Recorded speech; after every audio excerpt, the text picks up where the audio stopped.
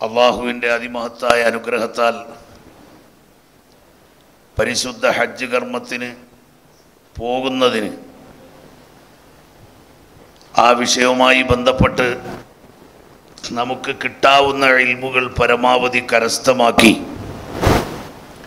നാം ചെയ്യേണ്ട ഒരു അമലാണ് പരിശുദ്ധ ഹജ്ജ്. നിങ്ങൾക്കറിയുമല്ലോ ഹജ്ജ് കർമ്മം എന്നത് എപ്പോഴും നമ്മൾ ചെയ്യുന്ന അമലല്ല. നിസ്കാരം നോമ്പ് എന്നത് എപ്പോഴും നമ്മൾ നിർവഹിക്കുന്ന അമലാണ് നമുക്ക് പരിചയമുള്ളതാണ്. പക്ഷേ പരിശുദ്ധ ഹജ്ജുമായി ബന്ധപ്പെട്ട് നമുക്ക് എപ്പോഴും നിർവഹിക്കാനുള്ള അമലല്ലാത്തതുകൊണ്ട് ആലിമീങ്ങൾ പോലും പരിശുദ്ധ ഹജ്ജ് കർമ്മത്തിനെത്തുന്ന സമയത്ത് ചില അമലുകളെക്കുറിച്ച് ചെറിയ വേജാറുണ്ടാകാറുണ്ട്. പടച്ചവനെ ഇതെങ്ങനെയാണ് പൂർത്തിയായോ? ഇതിന്റെ പ്രശ്നങ്ങൾ ശരിയായോ? എന്നൊക്കെ ചിന്തിക്കുന്ന ഒരു സാഹചര്യമുണ്ട്. ഈ പ്രാവശ്യം കോവിഡാനന്തര പരിശുദ്ധ ഹജ്ജ് കർമ്മത്തിന്റെ പ്രാരംഭ ഘട്ടങ്ങളായതേ ഉള്ളൂ എന്നതുകൊണ്ട് വിശാലമായ ആവർത്തിച്ചുള്ള ഹജ്ജ് ക്ലാസ്സുകൾ നടത്താൻ പ്രൈവറ്റ് ഹജ്ജ് ഗ്രൂപ്പുകൾക്ക് പോലും സമയം കിട്ടിയിട്ടില്ല. എന്നാൽ ഇൻഷാ അമീറുമാർ കൂടെയുള്ള സംഘത്തിൽ എല്ലാ വിഷയങ്ങളും എത്ര ക്ലാസ് എടുത്താലും ആ സമയത്ത് നമ്മൾ ആ അമലിന്റെ വിഷയം പറഞ്ഞു കൊടുത്തിട്ടാണ് കൊണ്ടുപോകാറുള്ളത്. ഗവൺമെന്റ് ഹജ്ജ് ഗ്രൂപ്പിൽ രജിസ്റ്റർ ചെയ്ത പ്രിയപ്പെട്ട ഹാജിമാരോട് യാത്രയുടെ വിഷയവുമായി ബന്ധപ്പെട്ടും മറ്റുമൊക്കെ ലീഡേഴ്സ് ഉണ്ടാകും.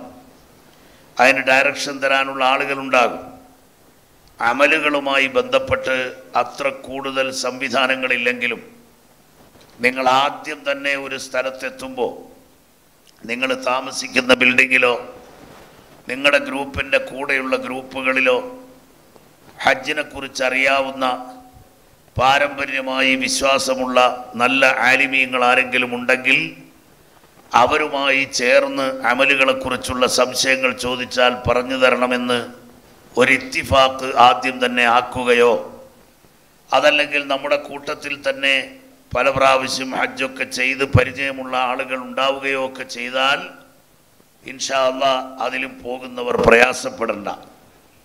എന്തായിരുന്നാലും ഹജ്ജിനെ സംബന്ധിച്ചിടത്തോളം അൽ ഹജ്ജു ജിഹാദു കുല്ലി റഈഫിൻ റസൂലുള്ളാഹി.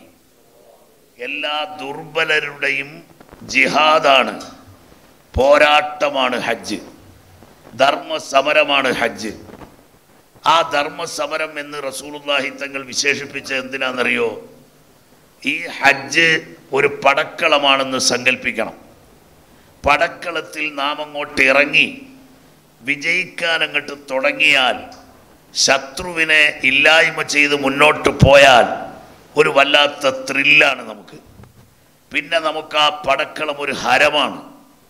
എന്നതുപോലെ ഇബിലീസാകുന്ന ശൈത്വാനാകുന്ന ശത്രുവിനെ പരാജയപ്പെടുത്തി വിശുദ്ധ അറഫ മൈതാനിയിൽ വിശ്വാസികൾ സംഗമിക്കുന്ന ഈ ഹജ്ജ് കർമ്മത്തിലേക്ക് ആളുകൾ ഇറങ്ങിയാൽ ആ ഇറങ്ങിയ ആളുകൾ എത്ര പാവപ്പെട്ടവരാണെങ്കിലും അമലുകൾ ചെയ്ത് ചെയ്ത് പോകുമ്പോൾ അവർക്ക് വലിയൊരു ത്രില്ലാണ് അതുകൊണ്ടാണ് റസൂലുള്ളാഹി സ്വല്ലല്ലാഹു അലൈഹി വസല്ലമ തങ്ങൾ പറഞ്ഞത് അൽ ഹജ്ജു ജിഹാദു കുല്ലി ദഈഫിൻ. എല്ലാ ദുർബലരുടെയും ജിഹാദാണ് ഹജ്ജ്. നിങ്ങൾ ആലോചിച്ച് നോക്കൂ ഇപ്പം ഹജ്ജിന് ബുക്ക് ചെയ്ത ആളുകൾ ഈ കൂട്ടത്തിലുണ്ട്.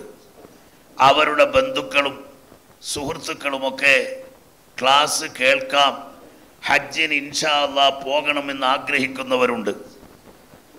ഞാൻ നമ്മുടെ തൽഹത്ത് മുസ്ലിയാരുടെ വീട്ടിൽ ഒന്ന് ഫ്രഷ് പോയപ്പോൾ ഞാൻ ചോദിച്ചു ഇവിടെ വീട്ടിലാരും ഇല്ലേ? ഇല്ല ഹജ്ജ് ക്ലാസ്സിന് പോയി എന്ന് പറഞ്ഞു.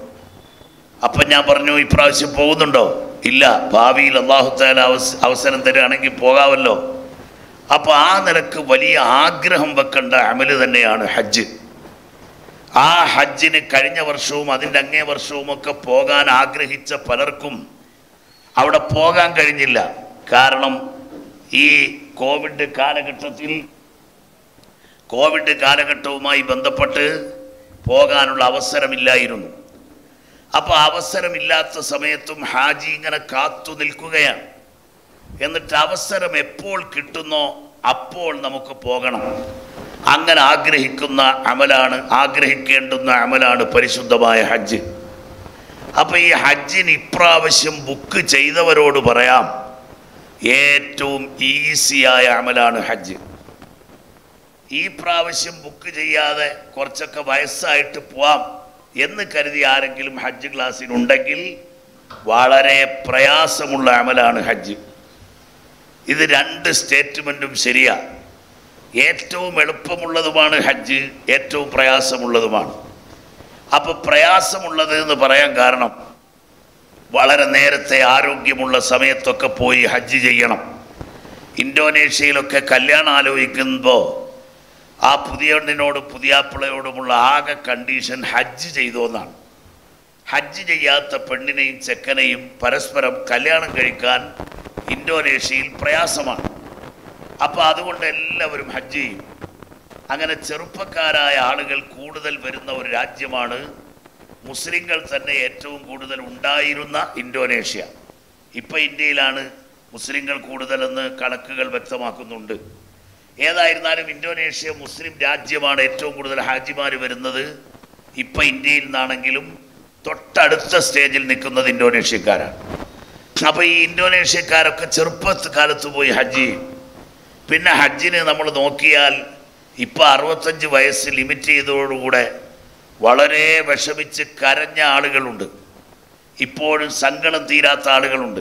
മെനഞ്ഞാന്ന് കാദിസിയിൽ ഹാജിമാരെ പഴയ ആളുകളെയൊക്കെ ഒന്ന് വിളിച്ചപ്പോൾ അതിലൊരു ഹാജി ഹജ്ജുമ്മയെ കൊണ്ടുവന്ന് അവിടെ ആക്കിയിട്ട് ഉസ്താദെ എനിക്ക് അറുപത്തഞ്ച് തികഞ്ഞു പോയി ഉസ്താദെ എന്ന് പറഞ്ഞ് കരഞ്ഞുകൊണ്ട് അദ്ദേഹം നിൽക്കുകയാണ്.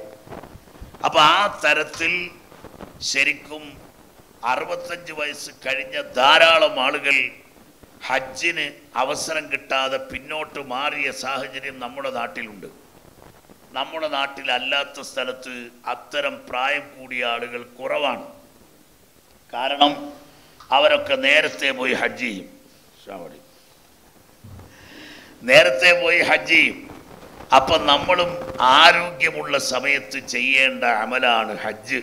യാതൊരു സംശയമില്ല കാരണം തവാഫ് ഒരു പ്രാവശ്യം ചെയ്യണമെങ്കിൽ ഏഴ് ചുറ്റായെങ്കിലേ ഒരു തവാഫാകും ഒരാൾ പണ്ട് പത്ത് മുപ്പത്തിരണ്ട് തവാഫ് ചെയ്തു ഉസ്താദെ എന്ന് പറഞ്ഞു. ഞാൻ ചോദിച്ചു മുപ്പത്തിരണ്ട് എങ്ങനെ വരുന്നത്? നിങ്ങൾ ഏഴ് വെച്ചല്ലേ ചെയ്തത്? അങ്ങനെ ചെയ്തിട്ട് മുപ്പത്തിരണ്ട് ചെയ്തോ? അവർ പറഞ്ഞു അങ്ങനല്ല ഞാൻ എല്ലാ ചുറ്റും കൂടെ കൂട്ടി മുപ്പത്തിരണ്ട് പറഞ്ഞാണ്. അങ്ങനെ ഒരു തവാഫില്ല. തവാഫ് പൂർത്തിയാകണമെങ്കിൽ ഏഴ് ചുറ്റ് പൂർത്തിയാകണം. ഏഴ് ചുറ്റെന്ന് പറയുന്നത് നല്ല തിരക്കുള്ള സമയമാണെങ്കിൽ ഏറ്റവും കുറഞ്ഞത് ഒരു മൂന്നര കിലോമീറ്റർ ആ ചുറ്റിനെടുക്കും. അതുപോലെ സൈ ചെയ്യുന്ന സ്ഥലത്ത് ഏഴ് പ്രാവശ്യം അങ്ങോട്ടും ഇങ്ങോട്ടും പോകണം അവിടെ ചെറിയൊരു ആദായം ഉള്ളത് സഫയിൽ നിന്ന് മറുവയിലേക്ക് വരുമ്പോൾ ഒന്നെന്നും തിരിച്ച് സഫയിലേക്ക് വരുമ്പോൾ രണ്ടെന്നും കൂട്ടും. അപ്പോൾ അതുകൊണ്ട് എന്നാലും അതും മൂന്നര കിലോമീറ്റർ ഉണ്ട്. അപ്പോൾ നമ്മുടെ നാട്ടിൽ കാറിലേക്ക് വീട്ടിന്റെ പടിയിൽ നിന്ന് കയറി തിരിച്ച് അതുപോലെ ഇറങ്ങുന്നവരാണ് പ്രസംഗിക്കുന്ന ഞാനും നിങ്ങളും.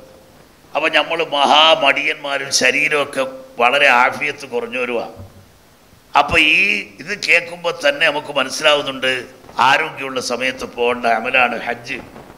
പിന്നെ അവിടെ ചെല്ലുമ്പോൾ ജബലന്നൂർ ജബൽ സൗർ പോലെ അള്ളാഹുവിന്റെ ഹബീബ് കയറിയിരുന്ന മലകളൊന്ന് കയറണമെന്ന് കരുതിയാൽ ആരോഗ്യമുള്ളവർക്കേ കഴിയൂ. അമലുകൾ ആവർത്തിച്ച് ചെയ്യാൻ ആരോഗ്യമുള്ളവർക്കേ കഴിയൂ. അതുകൊണ്ടാണ് എത്രയും നേരത്തെ പരിശുദ്ധ ഹജ്ജ് കർമ്മം ചെയ്യണം എന്ന് ബാക്കിയുള്ളവരോട് പറയാൻ വളരെ പ്രയാസമുള്ള ഒരു അമൽ തന്നെയാണ് ഹജ്ജ് എന്ന് പറയാൻ കാരണം. അതേസമയം ഇപ്രാവശ്യം ബുക്ക് ചെയ്തവരോടോ വെരി ഈസി അമലാണ് ഹജ്ജ്. അതെന്താ ഈ ദൂരം അങ്ങനെ കുറഞ്ഞു കിട്ടുമോ കുറഞ്ഞു കിട്ടുന്നതല്ല. നമ്മൾ യാത്രക്കൊരുങ്ങിയാൽ അള്ളാഹുവിനോട് ദ്വാരക്കുന്ന സമയത്ത് അള്ളാഹു സഫർ. യാത്രയുടെ ദൂരത്തെ നീ ചുരുട്ടിത്തരണം റഹ്മാനെ എന്ന് ഷാർജയിൽ നിന്ന് ഫ്ലൈറ്റ് ഉയരുന്ന സമയം നമ്മുടെ തിരുവനന്തപുരത്തേക്ക് വരാനുള്ള ഫ്ലൈറ്റ് അത് കയറുന്ന സമയത്ത് നമ്മൾ പറയാറുണ്ട്. അപ്പോൾ അതിന്റെ അർത്ഥം ഷാർജ തിരുവനന്തപുരം കിലോമീറ്റർ ചുരുങ്ങുമെന്നല്ല. പക്ഷേ പ്രയാസരഹിതമായി അവിടെ യാത്ര ചെയ്ത് എത്തണമെന്നാണ് അതിന്റെ അർത്ഥം.